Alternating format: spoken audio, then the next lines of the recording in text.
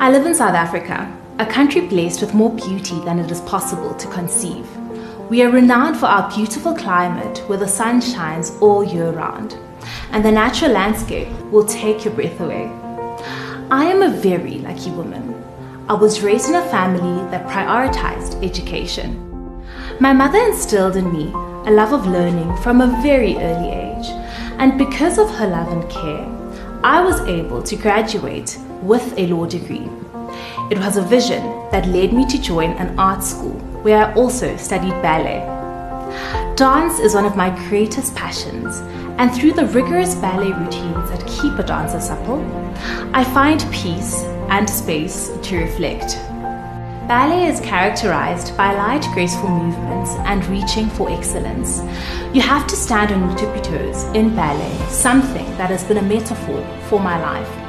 When I began to dance, I realized that I had finally found a way to deal with my fear of failure.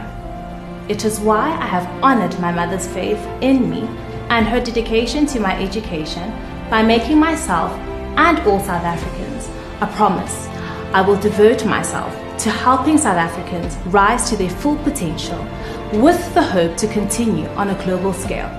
My father died when I was 11. His death had a huge impact on me. It taught me about sorrow and compassion, about picking yourself up, about tenacity and drive.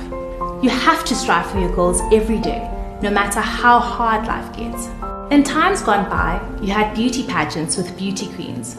Today, I see women who enter as warriors, beautiful and accomplished, of course, but fighting to make the world a better place. That is what I want to be a fierce world warrior, improving the lives of others. So I'm proud to introduce myself as Lalela Mswane, Miss South Africa 2021.